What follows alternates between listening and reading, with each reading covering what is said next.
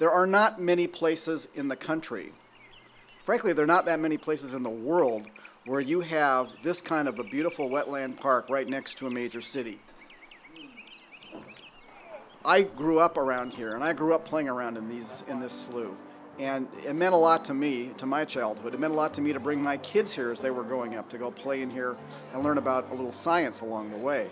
And I know with Pacific Science Center's great leadership, a lot of kids, thousands of kids from around here will do that. With this 320 acre wetland, uh, the program was designed with the objective of helping people understand and appreciate wetland environments and do that through the direct hands-on observation of ecology and uh, uh, aquatic activities. To look, the look on the faces of young people when they take a dip of slough water and put it under a microscope and see that it's teeming with life is just worth the price of admission.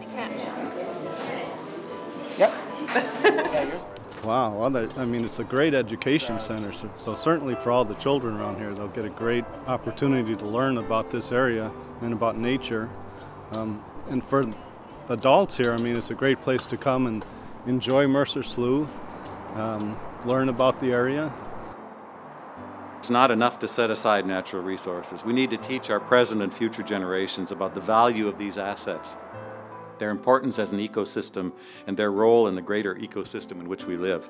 City of Bellevue and all of the funders of this project have certainly ensured that that's going to happen here.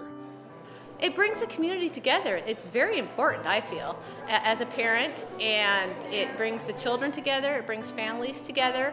People, they learn about the environment, how important it is. It's a prey, because that way they can see all around it and they can see if a predator is trying to come and eat them. It's important for our children and our youth to have the opportunity to touch, to see, to look out a window and be in the treetops. I mean, this is what makes this place live and breathe. It took a while to get this done, but the, you, when you look around here, you know it was all worthwhile. As so many kids come here and learn science, learn about the environment, learn about environmental stewardship, and that's really what brought us to make this happen. We saved this park and now we're going to help many, many generations of children save the environment. That's a good thing.